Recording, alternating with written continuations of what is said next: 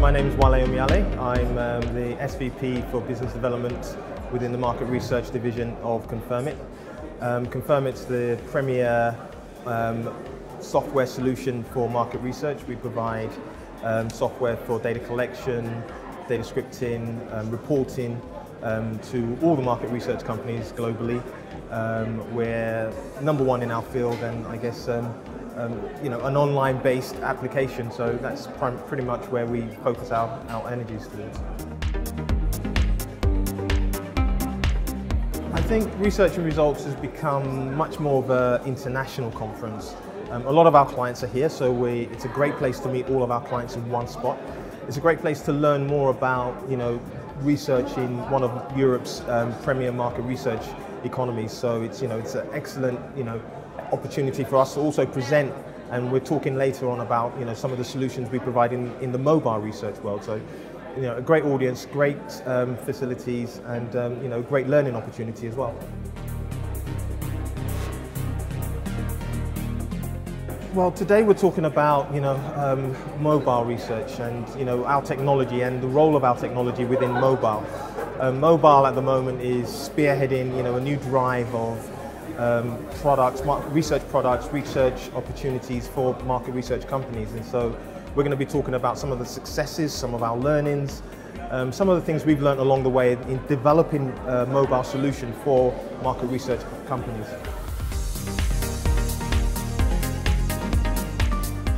Part of my role is working across um, Asia Pacific, and Asia Pacific is one of the biggest growth areas for mobile. Um, at the moment now, we're working with a number of clients across Indonesia, um, you know, 200 million people all accessing the mobile.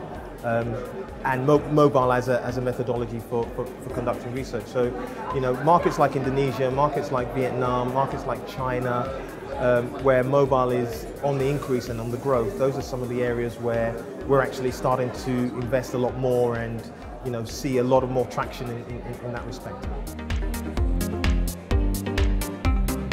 Well, I, I, think for a lot of economies, you know, mobile has been, like, I hate to, to, you know, repeat myself, but mobile's been the effective way of communicating. It's, it's a mass market tool for communication, whether that be a smartphone or a feature phone you know, pretty much everybody in the world has got a mobile device today. And so for market researchers to effectively reach, you know, consumers and business leaders, you know, using mobile as a device to actually communicate with people is probably the most effective way today. Well, I think the, the good thing with Confirmit's um, solution is that from the get-go, we were always a multilingual platform.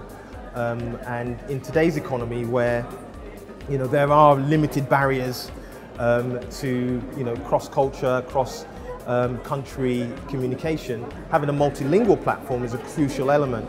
Um, and that's part of the solution that we provide. You know, Confirmit surveys can be answered in any language, whether that's Asian characters, double bytes, Unicode enabled, you know, we're there.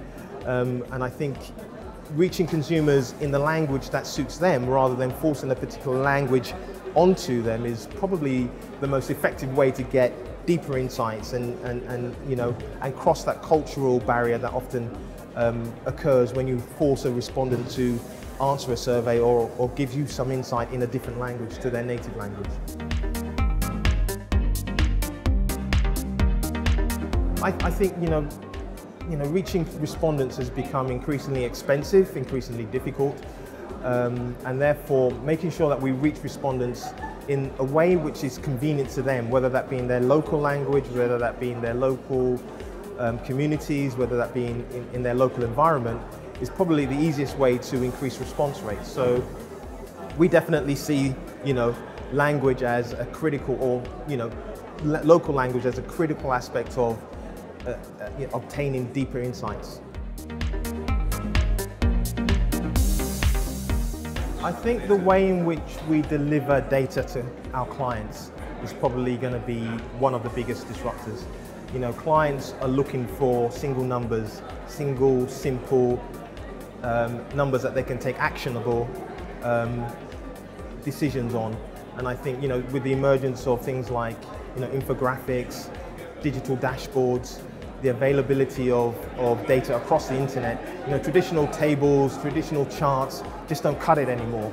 And I think, you know, with the emergence of newer ways of delivering insights, especially when you think about, you know, the, the introduction of big data and the massive amounts of data that we're dealing with, simplifying that into concise, simple, easy to understand um, data sets is going to be the next big challenge for market research.